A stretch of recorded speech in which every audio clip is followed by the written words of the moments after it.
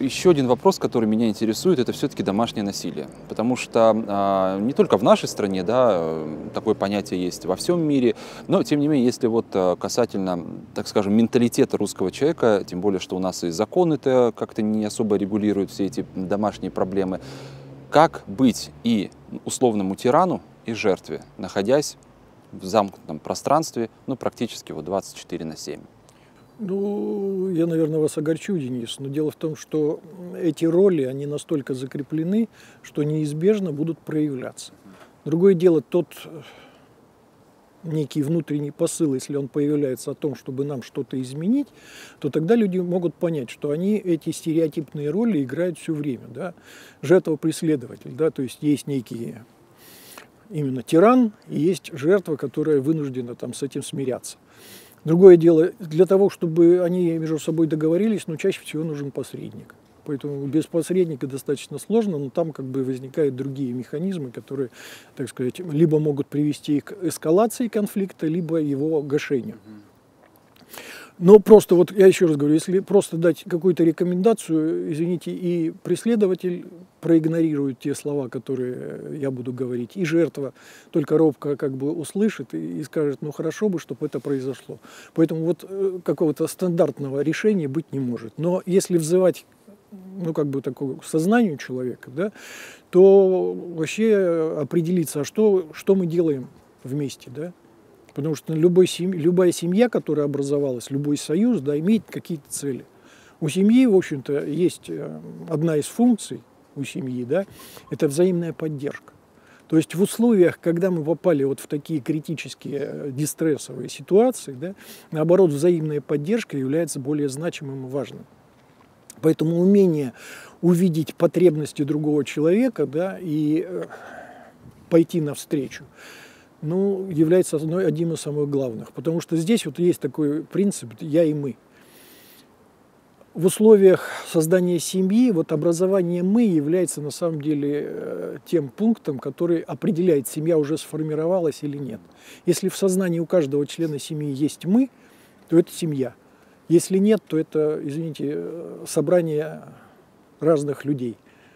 Поэтому, когда появляется «мы», вот эта общность, вот эта соединенность да, людей, тогда это семья.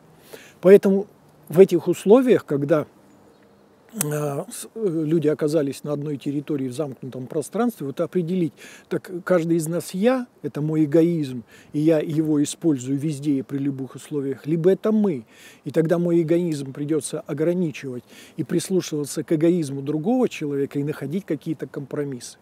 Если этого не сделать, то, извините, э, те стереотипы, которые есть, они все равно проявятся.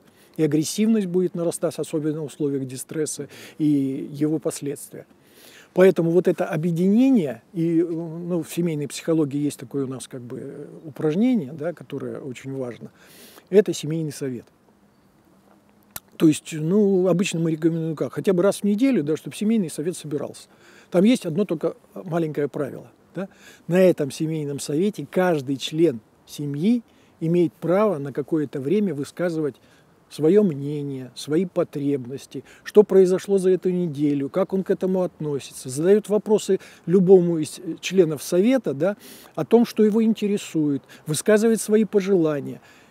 И вот когда на семейном совете это обсуждается, и причем это равноправное, да, есть, конечно, ну, условно, тот, кто во главе, да, но там тоже есть э, вещи, когда мы можем, допустим, переход председателя совета, да, каждый, каждую неделю может меняться.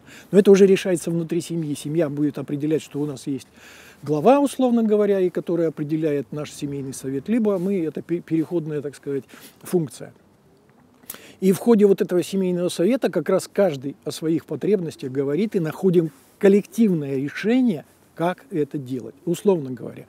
Есть возрастная психология.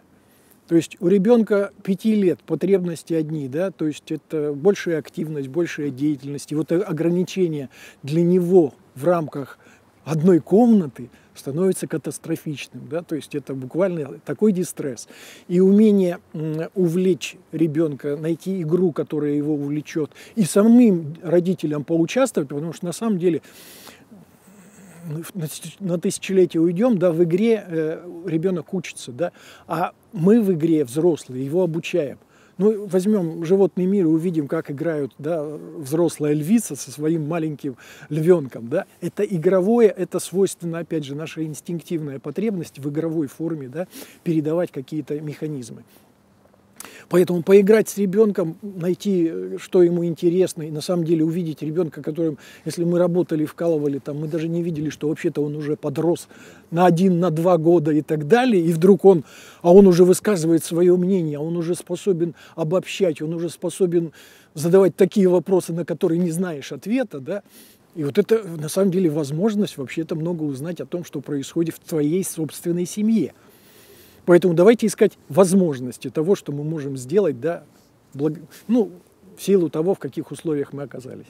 Спасибо вам большое. Надеюсь, что действительно все эти советы помогут хоть как-то снизить какой-то градус накала, может быть, в семье, ну и с пользой и для себя, и для своих детей провести это время. Конечно, но это же время жизни. Давайте его использовать. Спасибо вам.